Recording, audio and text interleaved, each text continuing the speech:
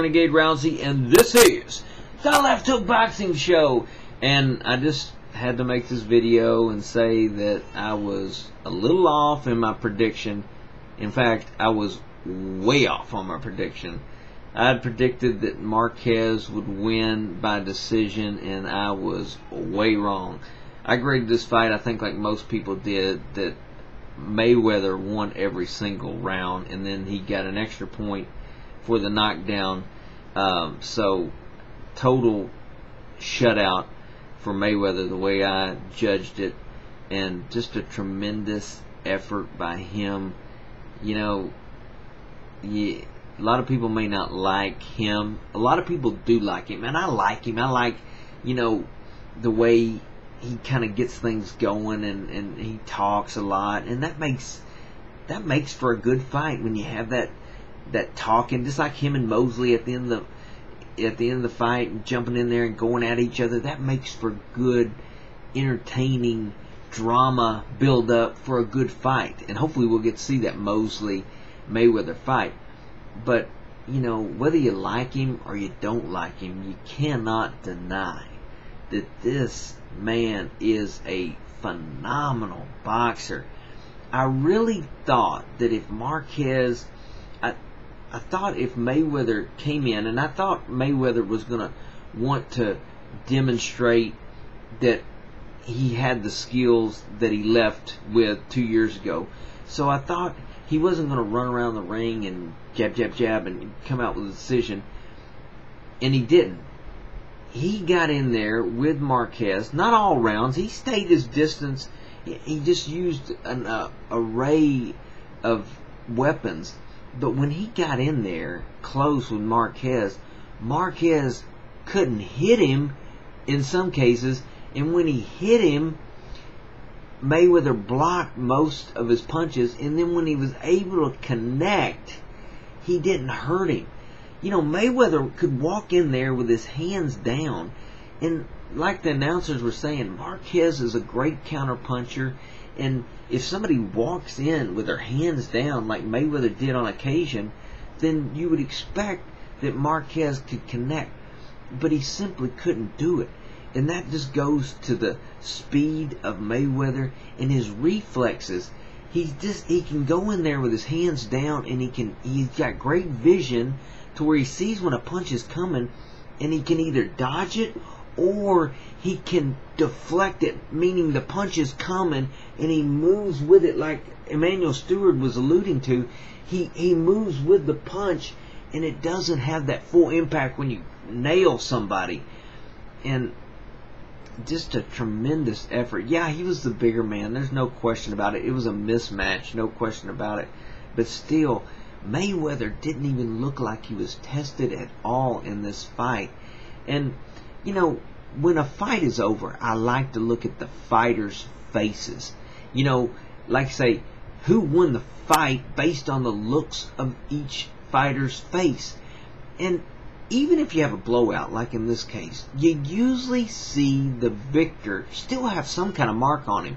He may not have a cut, but usually he has like a reddish face or a little swelling. But Mayweather had none of that. I saw not a blemish on this man. Not one blemish. I was looking for a cut. I was looking for a little blood coming out of the lip, maybe a little a little scratch, a little blood coming out of the nose. There was none of that.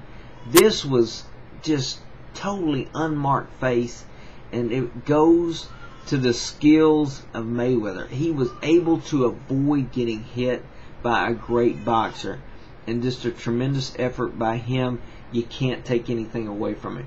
Now, as far as Marquez, I hated to see him done that way. I mean, he's just a great boxer. He gave a good effort. He went in there and fought, and he didn't get knocked out. Now, that shows that, hey, he's got pride, and he gave a good effort. He was up against a better boxer, a faster man, and a bigger man.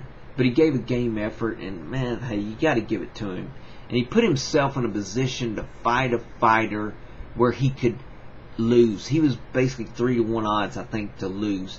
But he went in there and fought a, a great boxer and he lost. But you got to give him credit there.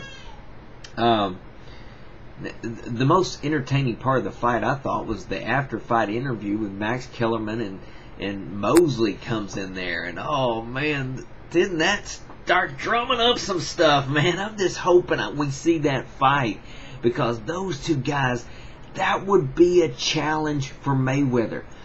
Mayweather I'm telling you he wasn't even challenged in this fight.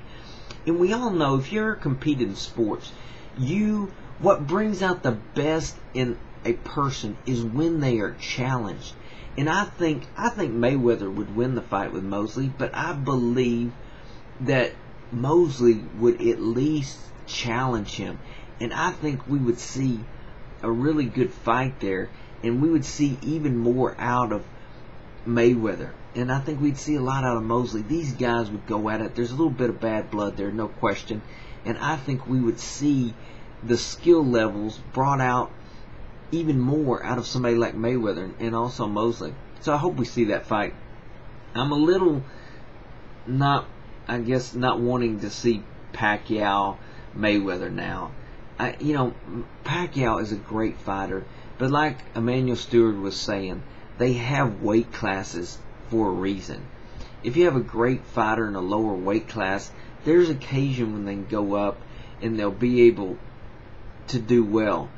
But when you're going up and fighting a, a, a bigger man like Mayweather, I don't know.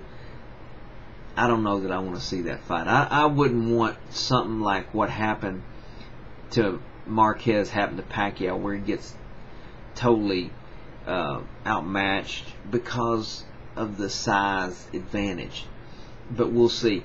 But one thing you'll know is that Freddie Roach if he's involved in whatever negotiations the fight, he will insist that there be a catch weight and it be at a certain real low weight. So I kind of doubt that fight's going to happen because, and if if if Mayweather pulled the thing where he comes in at 146, I bet you anything uh, Roach would say, "Hey, we're not fighting the fight." If he comes in at that high of a weight, we ain't fighting it. We're calling it off. And uh, I don't think Mayweather's going to want to go down that low to where uh, he would fight Pacquiao. I think the best fight for him would be Mosley, and I think that would be the fight that would bring out the best in him. And I hope he puts that fight on, and his uh, promoters put that fight on. But anyway, just a quick video. I was wrong, way wrong. I give it to you, Mayweather. You're a tremendous boxer. A lot of people don't like you, but hey, whatever they say, you're still a great boxer and uh, great entertainer as well. So I hope we get to see another good fight for him in the future, and I hope it's against Mosley. For now, this Renegade, I'm.